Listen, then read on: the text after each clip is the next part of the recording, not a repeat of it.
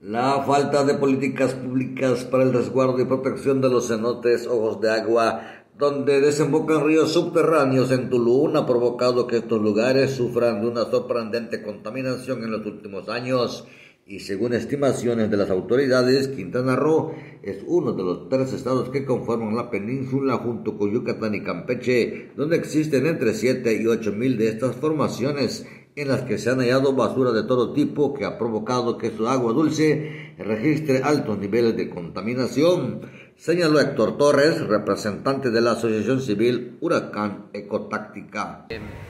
Los cenotes de la península de Yucatán albergan el 30% del agua potable de todo el país y que están siendo contaminados por estos vertimientos.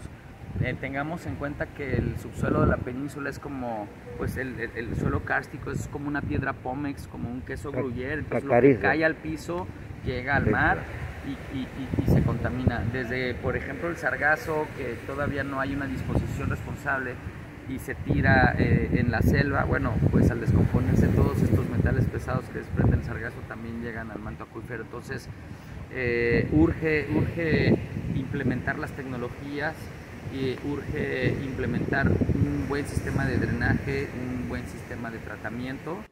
Héctor Torres destacó cómo es que las aguas negras provenientes de los núcleos urbanos de Tulum se han filtrado en las redes cenotes de la región y que tratar el agua en plantas convencionales no es suficiente para resolver el problema, pues los lodos resultantes también son un foco de contaminación que han contribuido a exterminar la biodiversidad del noveno municipio.